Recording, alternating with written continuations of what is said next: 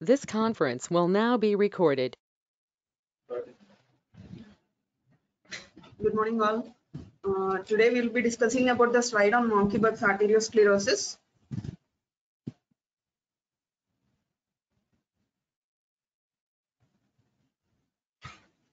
Uh, what is arteriosclerosis is uh, hardening of the arteries. Okay, means the arterial wall thickening, and this is maybe due to loss of elasticity of the arteries. Okay, there are generally four patterns with different clinical and pathological consequences.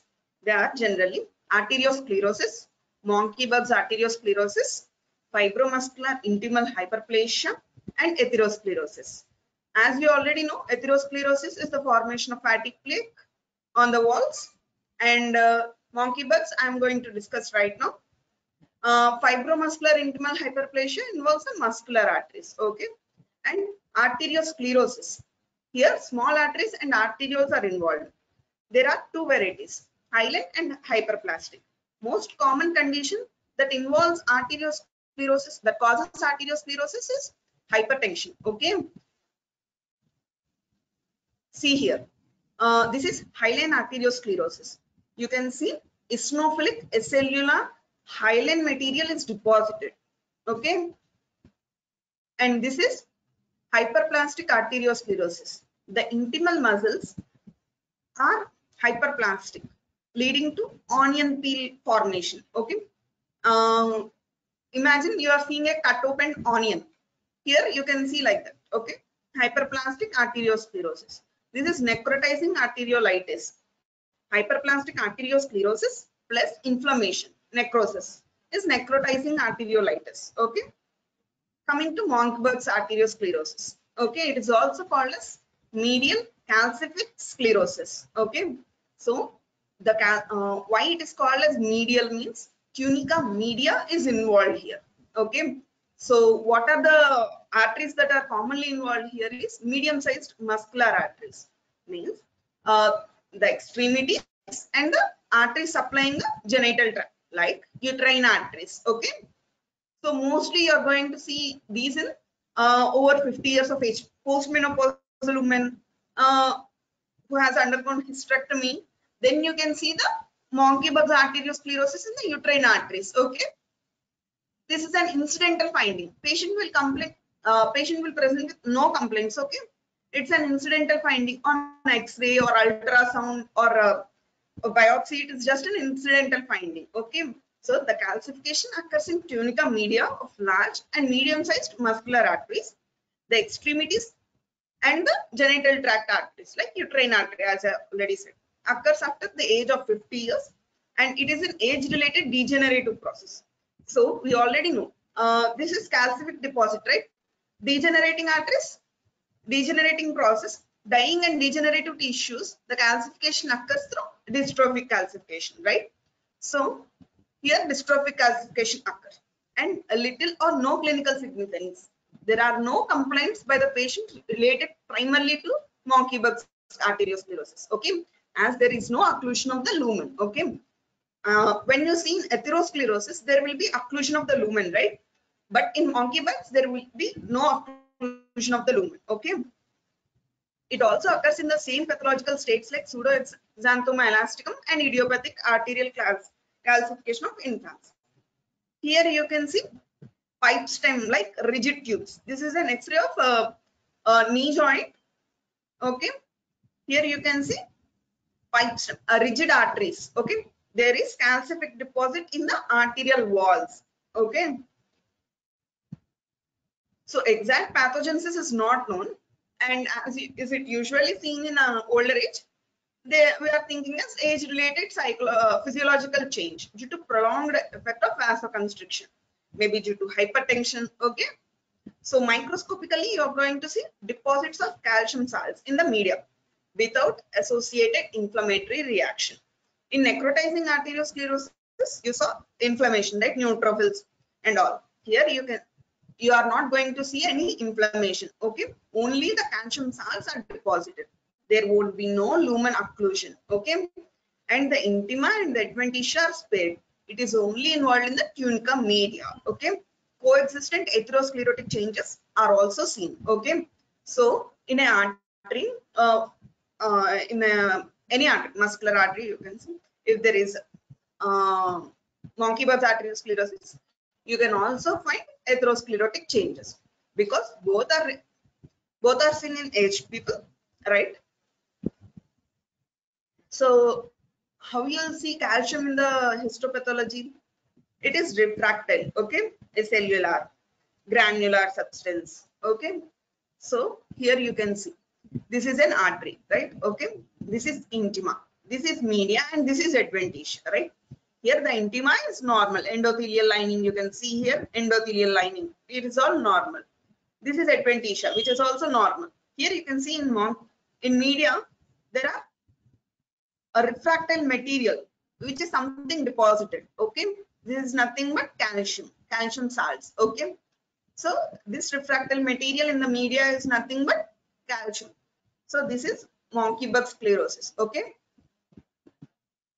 See here, refractile material, okay?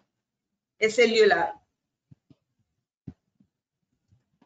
a cellular refractory material, okay? Refractile material you can see. This is the intimal lining, okay? Which here these are the endothelial cells, okay? This is media which is involved by the calcium okay dystrophic calcification takes place here okay and there won't be any inflammation okay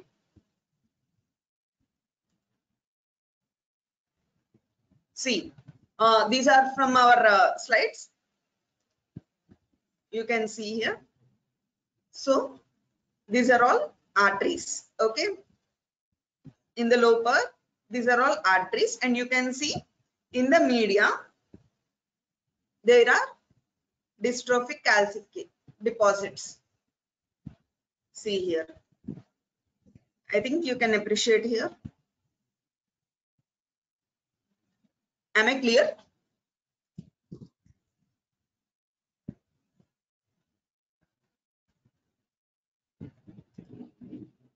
See, in this also you can see these are the two arteries involved by Monckeberg's sclerosis. Okay.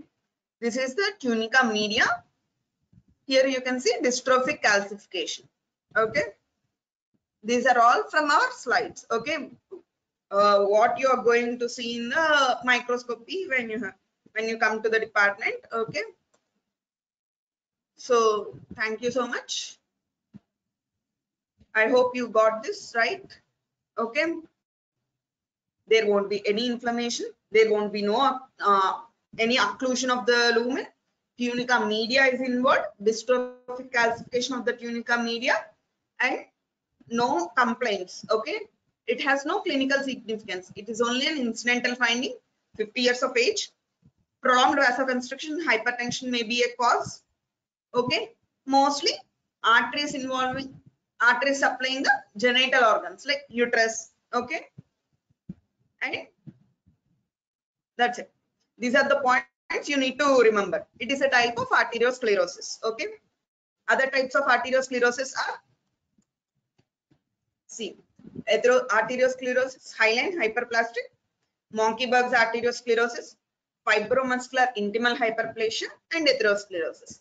Atherosclerosis is otherwise a big chapter, and you it will be discussed in the theory classes. Okay and hyaline hyperplastic are related to hypertension okay and small arteries are involved in arteriosclerosis Monckeberg's, medium and muscular sized muscular arteries are involved okay this is hyaline arteriosclerosis hyaline material is deposited and this is proliferating hyperplastic atherosclerosis proliferation of the smooth muscle bundles. And this is necrotizing arteriosclerosis there will be necrosis. Okay? Monckeberg's as we already discussed in the x-ray you will see uh, pipe rigid tubes. Okay? Uh, on palpation you are going to see hard vessels. Okay?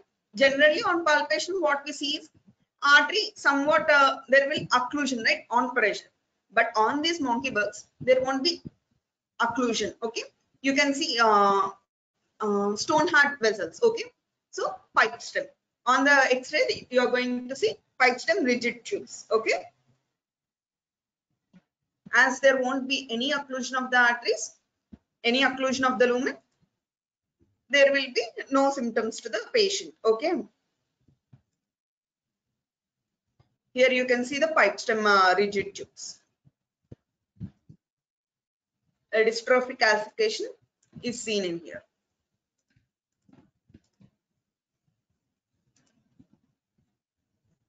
You can see the dystrophic calcific deposits in the tunica media. No inflammation, lumen is normal, and intima and adventitia are normal.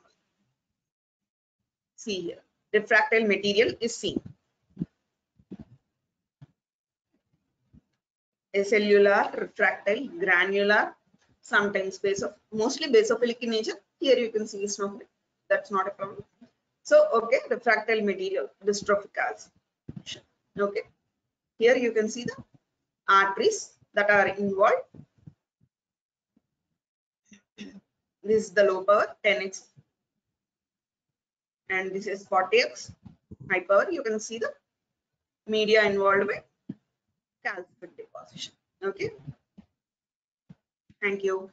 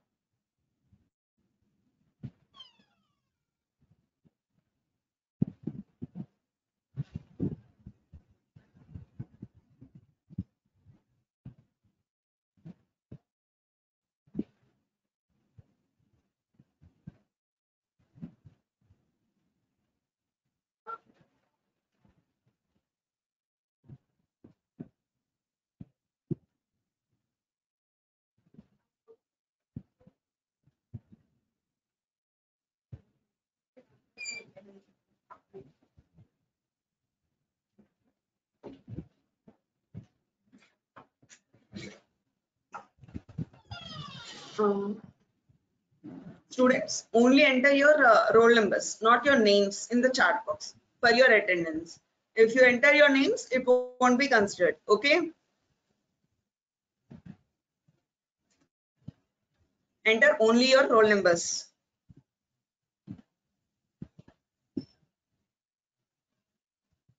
names are not considered